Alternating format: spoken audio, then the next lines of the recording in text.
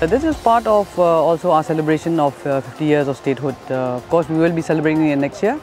Meghalaya in these last 50 years has gone from strength to strength. At the birth of the state, uh, uh, you know, one of the leaders of our state called this and call our state a patch of beauty and grace. We invite everyone to join us in this celebration. We are very proud of our state. We have to strive together to see that Meghalaya is developed more in the years to come.